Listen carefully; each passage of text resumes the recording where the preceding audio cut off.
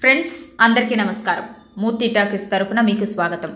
ఇవాళ మనం గోబెల్స్ ప్రచారం అంటే ఏమిటో అసలు ఈ గోబెల్స్ ఎవరో తెలుసుకుందాం. ఇప్పటివరకు మా ఛానల్ను సబ్స్క్రైబ్ చేయకపోతే చేయండి. ఒక లైక్ కొట్టండి. మీ ఫ్రెండ్స్కి షేర్ చేయండి. ఇక అసలు విషయంలోకి వెళ్దాం. గోబెల్స్ ప్రచారం. ఈ మాట తరచుగా మనం రాజకీయాల్లో వింటుంటాం. అసత్యాలు చెప్పడాన్ని లేనిదాన్ని ఉన్నదానిగా చూపించడాన్ని గోబెల్స్ ప్రచారం అంటారు.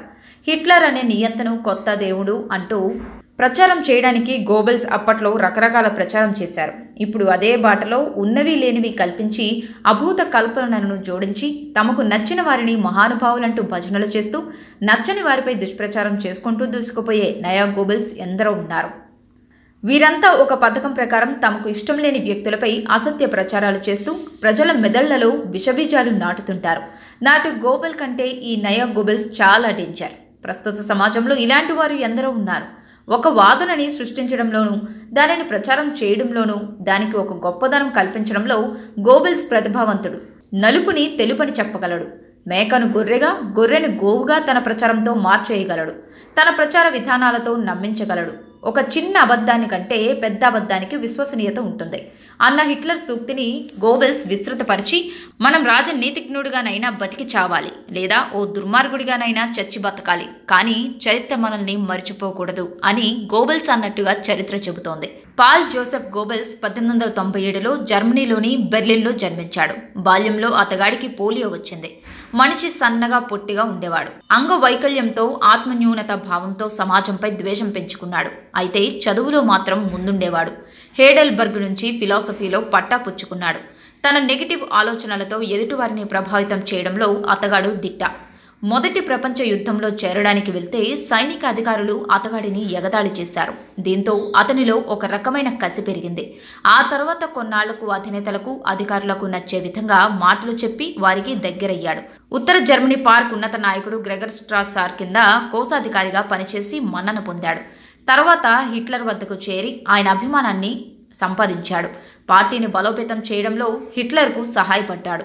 ప్రజల మద్దతు కూడగట్టడంలో కొంత విజయం సాధించాడు. గోబెల్స్ ప్రతిభను గమనించిన హిట్లర్ మొత్తం జర్మనీకి ప్రచార వ్యవహారాలు చూసే బాధ్యతలు అతనికి అప్పగించాడు. గోబెల్స్ నాజీల పార్టీలకు చెందిన పత్రికలకు సంపాదకుడిగా పనిచేశాడు.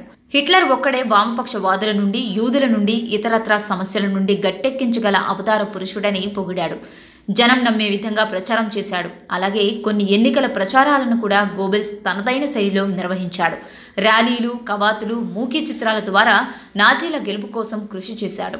హిట్లర్ పంతొమ్మిది వందల ముప్పై మూడులో ప్రచార శాఖకు గోబెల్స్ను మంత్రిగా చేశాడు. గోబెల్స్ తన ఆధీనంలోకి వచ్చిన పత్రికలు రేడియో నాటకరంగం సినిమాలు సాహిత్యం సంగీతం లలిత కళలు అన్ని మాధ్యమాలను గరిష్ట స్థాయిలో వాడుకున్నాడు.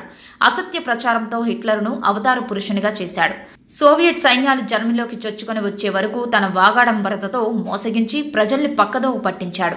ఈ క్రమంలోనే సోవియట్ సైనికులు బంకర్ సముదాయాల్లోకి చొచ్చుకొని వస్తున్నారని తెలిసి పంతొమ్మిది వందల నలభై ఐదు ఏప్రిల్ ముప్పైన హిట్లర్ ఆత్మాహుతికి పాల్పడ్డాడు. సోవియట్ సైనికులతో యుద్ధం చేస్తూ ప్రాణాలు కోల్పోయాడు అనే కథనాలు కూడా ప్రచారంలో ఉన్నాయి. గోబెల్స్ ఆ మరుసటి రోజు తన ఆరుగురు పిల్లలకు విషమిచ్చి చంపేశాడు. తర్వాత భార్యాభర్తలు పరస్పరం కాల్చుకొని మరణించారు. గోబెల్స్ మరణంపై కూడా పలు ప్రచారాలున్నాయి. మొత్తానికి గోబెల్స్ తాను అనుకున్నట్టుగానే చరిత్రకెక్కాడు. ఇప్పుడు ఆ గోబెల్స్ను ఆదర్శంగా తీసుకొని పలు పత్రికలు వ్యక్తులు గిట్టని వారిపై వ్యతిరేక ప్రచారం చేస్తున్నారు. వ్యక్తిత్వ హననానికి పూనుకుంటున్నారు. ఇప్పుడు గాని గోబెల్స్ ఉంటే ఈ నయా గోబెల్స్ను చూసి ఎంతో సంబరపడతారు.